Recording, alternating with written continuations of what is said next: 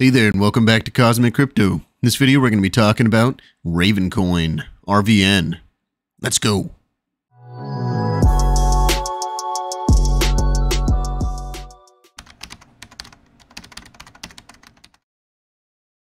Okay, welcome back to the channel. If you're not already subscribed to the channel, please go down below, hit that subscribe button. I really appreciate it. While you're down there, if you could tap the like button, that would be great too. All right, let's get into this. Ravencoin. It's not looking uh, very good, honestly. um, it's unfortunate. So we, uh, you know, let's just do a little recap here really quick. So we've been following this uh, triangle pattern here for a while now. And, uh, you know, we followed it down, we followed it up, and then we were hoping to hold support at the 618 here. Uh, if I drew this Fibonacci in a different location, it would have been the 786. And then we also had this rising, broadening wedge that was forming. Now, the good news is we, you know, reached the target for this rising, broadening wedge. So I'm actually going to delete the rising, broadening wedge now because we have completed and fell to the target. Uh, the what I had said in my last video is I really wanted to see the weekly candle come up and hold above the blue line. And as you can see, we did not do that.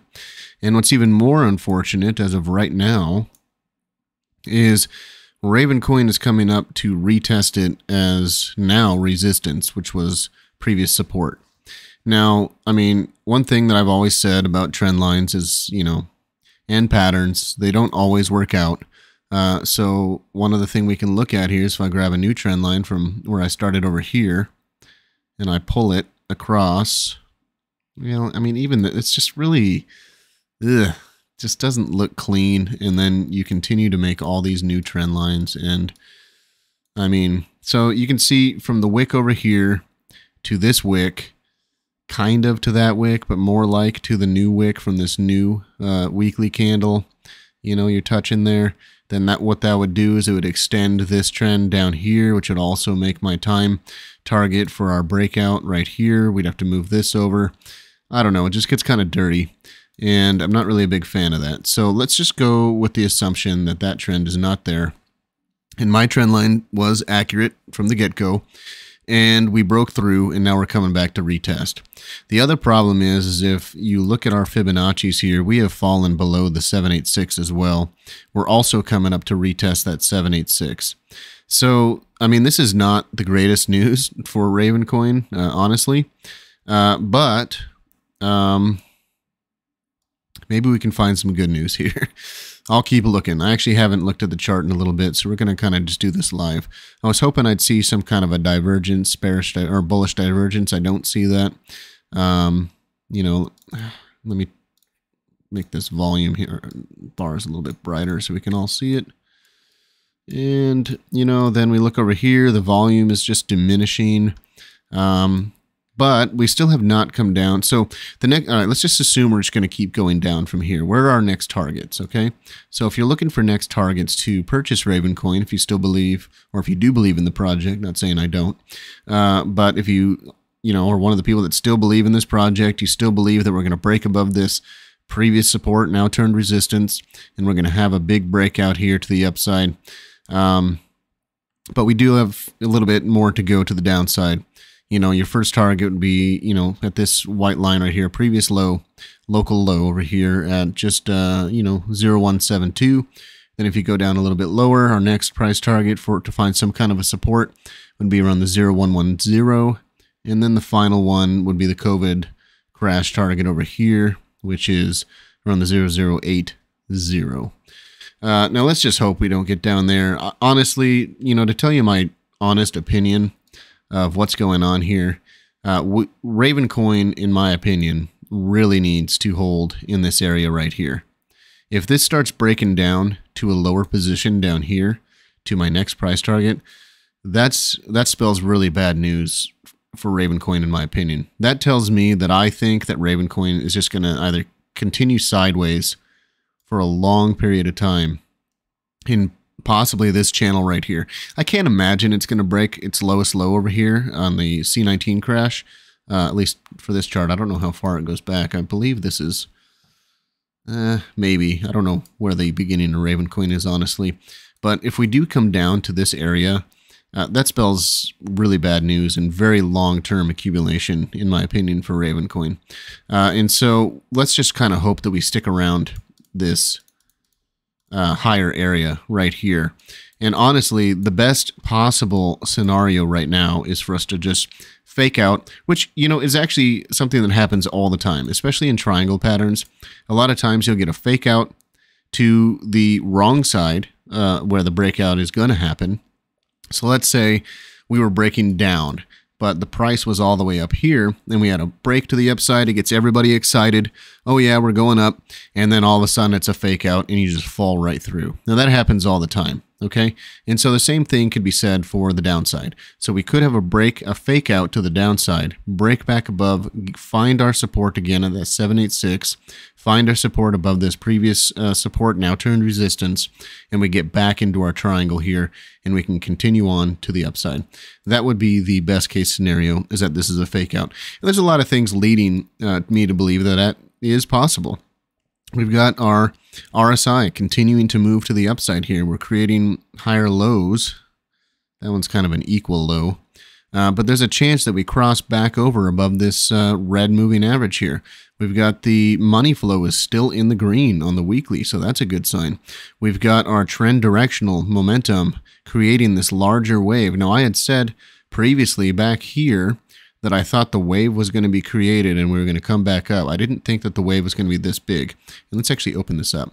You can see that I actually was thinking this wave where you can see this, uh, where it kind of got knocked down. I don't know how to describe this. The wave was coming down right here and it looked like it was about to curl right there.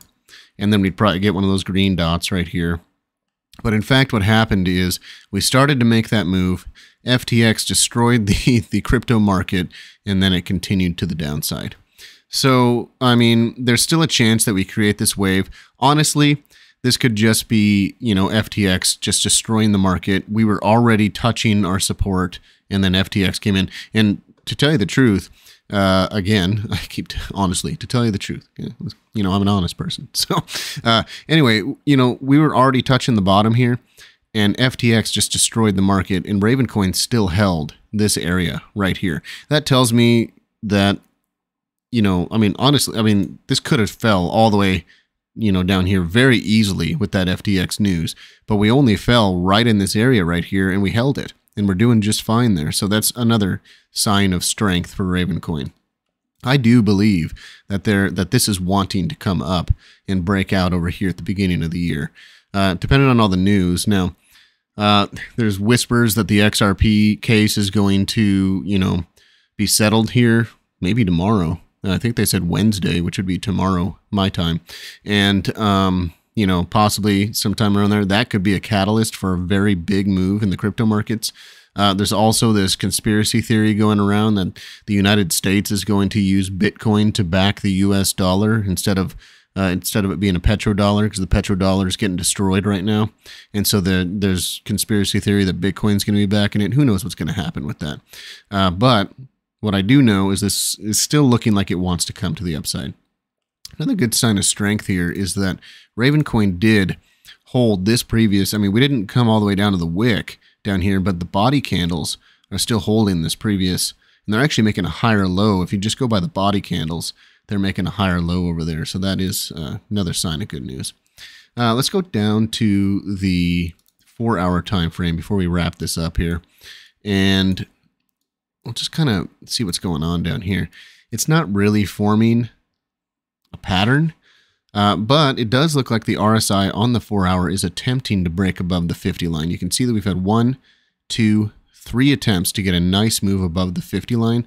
Uh, but we are finding resistance on my cloud here, the 20 and the 50 EMA cloud. And so also, let's see a Fibonacci here from top to this bottom. Sorry, I want to clean this up a little bit. I got a bunch of stuff on here.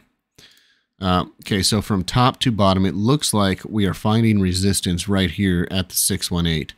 So, I mean, there is a chance that this could be an M pattern forming right here. And if that is the case, and we do have an M pattern forming, well, that would be like probably right there. Uh, let's see where, and that actually takes us right down to my next target there, uh, if that does form. and happen. Uh, and it is getting rejected off the 618 multiple times on the four hour. Uh, and we did have the one wick come up and hit the 618. Then we've had these body candles trying. You can see the bottom wicks here. They're they're attempting to get up there, but they're having problems, and it looks like it's about to roll over. Now, the best case scenario here is we come down and we hold, uh, you know, make a higher low. So let's do a Fibonacci because I'm going to assume that's a top right there. So let's do a Fibonacci from this bottom to this top. Uh, so, uh, uh you know, we'd probably want to see it come down to just around 2 cents, just over 2 cents here at the 618 to create that higher low. And if we do that on the 4 hour, we could be looking at a possible triangle pattern forming at the bottom here uh, of this drop. Now, a lot of people are going to say that that's bearish, which, you know, they're right. It is bearish. You don't want a triangle pattern forming on a fall here. That could be considered a pennant flag, which could drop you even further. A triangle pattern, which obviously, uh, you know, this is going to lean towards the downside. I think 60% of these move to the downside if the uh, prior move was to the downside. Uh, you can see that we were holding on for dear life up here at that 618 on the four hour. Uh, but anyway, so pay attention to this move. When is where does this take us to? This takes us to November 17th at midnight ish, which is in a couple days.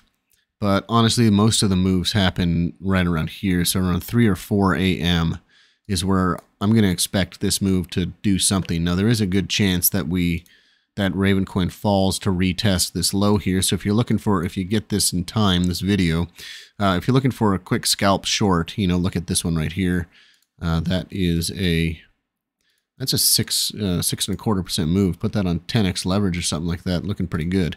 Uh, so then you got that going on. And then after it hits that, pay attention to this next move here. If we come down, I'm assuming we're going to find support right here if we come up, but we cannot retest this top side and we do, we leave this gap right here, uh, and then we come back down, that's telling me that there's a very good chance that we're going to break down and, re, and come down and test this level right here. So, I mean, in the next couple of days, draw your lines out here.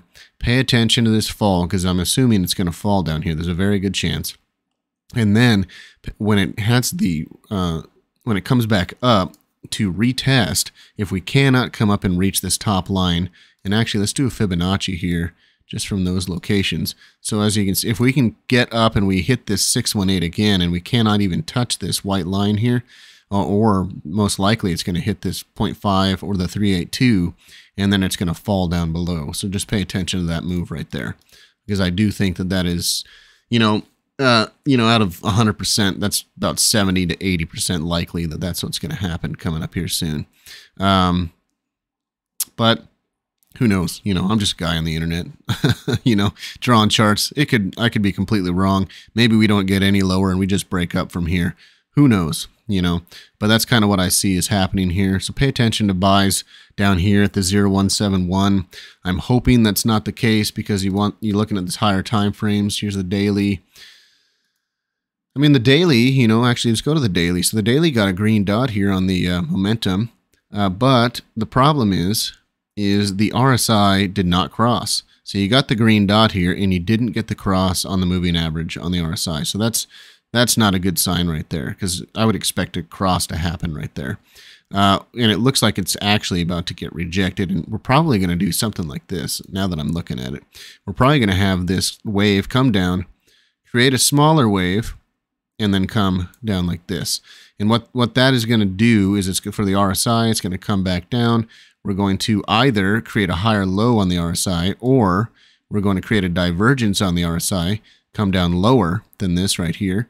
And then the price, maybe the price comes and, it's a fake out down here. You get a higher low on the price, you get a lower uh, low on the RSI, and that's creating the divergence. Or um, maybe I don't know. Who knows? I'm just throwing out scenarios here. Uh, you know, kind of just pay attention, basically pay attention to this triangle. Now I'm just starting to ramble. So let's uh, go ahead and close this out here. Otherwise, I'm just going to keep rambling. Uh, yeah, Ravencoin. Eh, not looking too good. Uh, so pay attention to the levels I talked about. And uh, yeah, if you like this video, if you want to see more of this kind of stuff, please leave a like down below. It tells YouTube that people like my stuff and it's going to promote it to other people. Subscribe to the channel. And uh, just remember, I'm just a dude on the internet. That's not my exit. How do I normally say this? um, not financial advice, just a just a dude on his computer. Okay, I'm out of it. Talk to you later.